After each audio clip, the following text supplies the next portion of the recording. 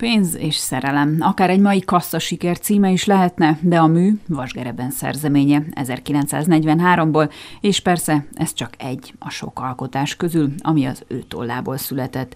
Vasgereben 1823. április 7-én Fürgeden látta meg a napvilágot. Tamási város önkormányzata az író születésének 200. évfordulója alkalmából tisztelgett az emléke előtt. Utca is van róla elnevezve Miklósváron, de itt mindjárt meg is hegyezném, hogy nem csak Tamásiban, hanem országszerte érdekes módon szinte minden településen van róla elnevezve valami közterület vagy intézmény. Ez azért meglepő, mert mint író, nagyon kevesen ismerik Vasgerebent. Az írói életművel szinte teljesen feledésbe merült. Nem csoda, hisz a múlt század közepétől ki sem adják a vasgereben műveket. Illetve meg kell, hogy említsek egy üdítő kivételt.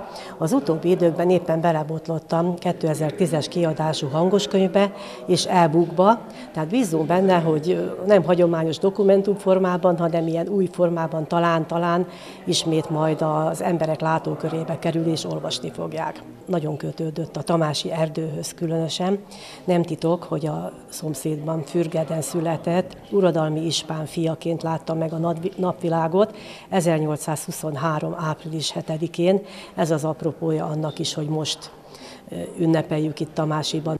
Tamásiban nem csak az utcatábla emlékeztet bennünket Vasgerebenre. A Miklósvári mesterséges tó, mesterséges kis szigetén van egy kis emléktábla Vasgereben emlékére egy híres idézettel, amely az egyik regényéből, a Nagy idők, nagy emberek című regényéből származik, a kilencedik fejezetből, amely a Tamási erdőről szól. Ezt Könnyű László adományából állították a tamásiak 1983-ban, tehát nem annyira régen, és Gyenei Judit grafikus és szobrász művész alkotása egyébként. De korábban is volt kultusza, a második világháború előtt.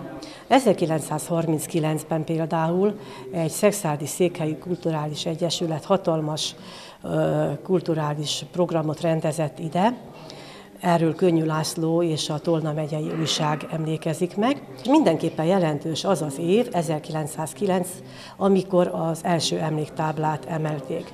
Akkor még volt itt egy hatalmas őstölgyes a Tamási erdőben, 50 holt területen helyezkedett el, és az egyik ilyen hatalmas famatú zsálemre, amely tényleg hatalmas volt, 20 méter magas, közel 5 méter átmérőjű, és akkor olyan 400 évesre becsülték, erre helyeztek föl egy emléktáblát, ugyanezzel a szöveggel, amit később 83-ban is Könnyű László ráíratott az emléktáblára, tehát szintén a Nagy idők, nagy emberek című regényből.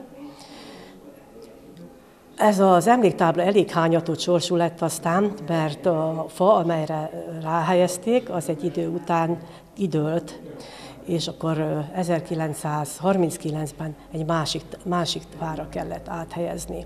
Azóta már nincs is meg ugye ez a tábla, hanem csak ez a szigeten elhelyezkedő kis emlékmű őrzi itt Vasgereben emlékét. Vasgereben több témával is foglalkozott írásaiban. A földrajzilag kéne behatárolnunk, akkor azt mondanám, hogy a Dunántúli nemesség, a régió táblabírák ideje, ha a korban, akkor a napóleoni háborúk, a reformkor, és még utána körülbelül a szabadságharc utáni évtizedek.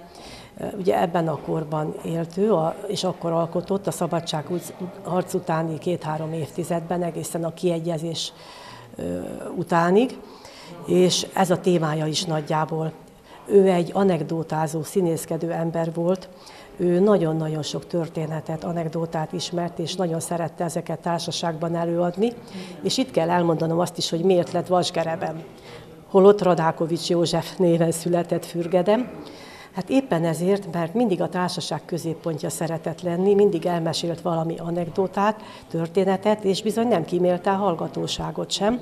Nagyon kíméletlen volt, és az egyik baráti társasága ráragasztotta, hogy te vagy a vasgereben olyan kíméletlen és goromba kritikus, mint egy gereben. Ugye a gerebenről sem tudja már mindenki, hogy az tulajdonképpen egy len-kender feldolgozó eszköz volt, amivel elsimították a, a szálakat, és ő így ilyen durva módon simította el, kritizálta mindig a, a történeteket. Tehát egy anekdotázó típus volt, nagyon sok történet volt a birtokában, minden évben szinte jelent meg egy regénye. Az első, a régi jó idők, 1855-ben az a napóleoni háborúkról szólt, aztán 56-ban a nagy idők, nagy emberek, ez a reformkorról szólt, ugye ebben van az a kilencedik fejezet, amiből származik a Tamási erdőről szóló idézet, és attól kezdve minden évben egy-egy regény. A legjobb regényének a nemzetnapszámosait tartják, ebben a vándorszínészekről ír, és érdekes módon az olvasók várták mindig a regényeket, szerették, népszerű volt, népszerűsége jókaiéval vetekedett, viszont hatalmas bírálótábora volt. A kritikusai állandóan leszkeztették, állandóan bírálták, és ezzel igen megkeserítették az ő életét.